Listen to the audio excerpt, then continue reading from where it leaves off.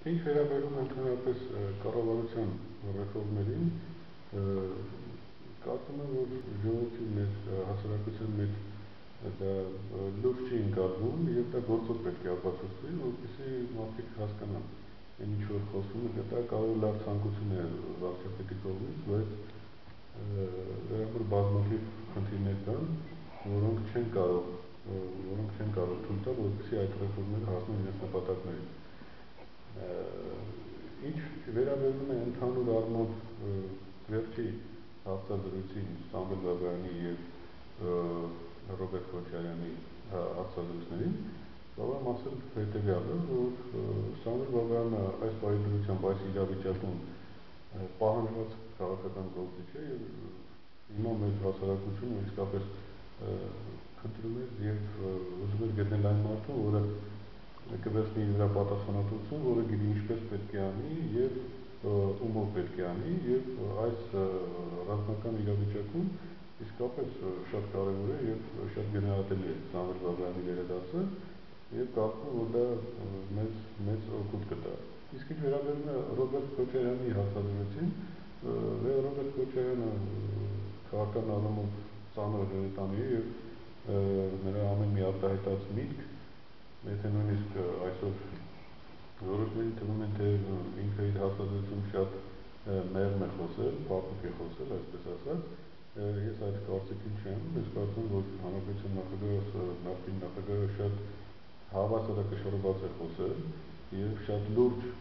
մեսիջներ է արտահայտել եւ կարծում եմ, որ նա իսկապես այս ֆոնդում ինչպես օրինակ Սամվել Բաբայանը ռազմական գործողությունների ժամանակ, Ռոբերտ Քոչարյանը այս փուլում որպես բոլոր հարցերի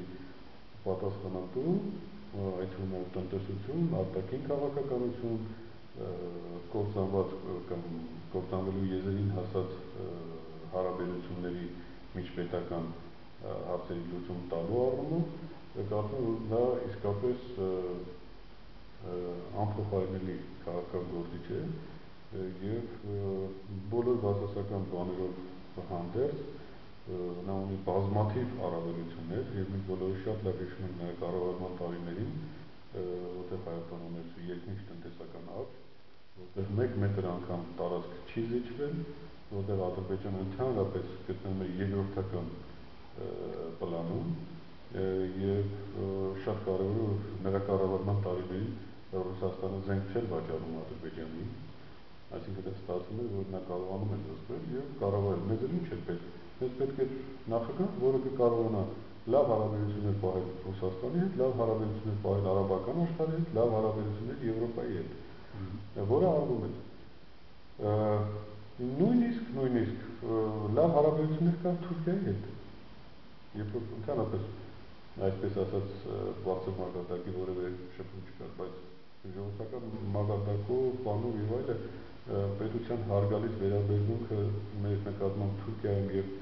ընդհանրապես պետական մեր պաշտոնյաների հանդեպ շատ ավելի բարձր կարգավիճակում է, քան այն ինչ որ հիմա կոչվեց այս ֆուտբոլային դիվանագիտություն, որի արդյունքում ընդհանրապես մենք ամեն ինչ կորցրեցինք։ Նույնը կարելի ասել Ռուսաստանի հանդեպ, որ մենք կորցնում ենք Ռուսաստանի որպես բարեկամ լինելու հանգամանքը։ Ռուսական քաղաքական գործիչները խոսում են արդեն Հայաստանին որպես ոչ բարեկամ երկիր դիտելը եւ մեր գործողությունները կամ հանրապետական վերնախավի կուսակցության վերնախավի գործունեությունը գալիս է նրան ապացուցելու, որ մենք փչացնում ենք հարաբերությունները Ռուսաստանի հետ։ Ինչպես ասում են ժողովուրդը, դա էլ վերջ։ Մենք ունենք լուրջ խնդիրներ։ Դա մեզ պետք չէ։ Մեզ հիմա պետք են կոնկրետ մարդիկ, կոնկրետ ղեկավար, որը կկարողանա այս խնդիրների լուծում տալ։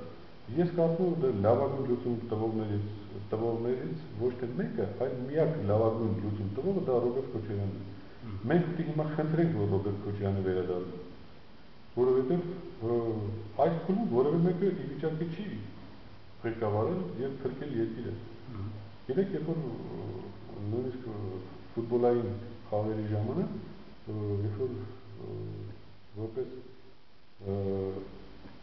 պայստայի ունես պելեի նման խաղացող եւ խաղը դու արտվում ես հայտարար ձևով պելեին չհանել խաղադաշտ սա կարծում եմ անթույլատրելի սխալ է եւ դա չի ներդրվում դա պարզապես մեզ չի ներդրվում եւ գիտենք մարդ որը կգա կսկսի գոլերը խփել խփել խփել եւ վերել հաղթանակ Սա է ճանապարհը։ Կարծում եմ, մենք պետք է հասարակությունում այդ խնդիրը լուծենք։ Շնորհակալ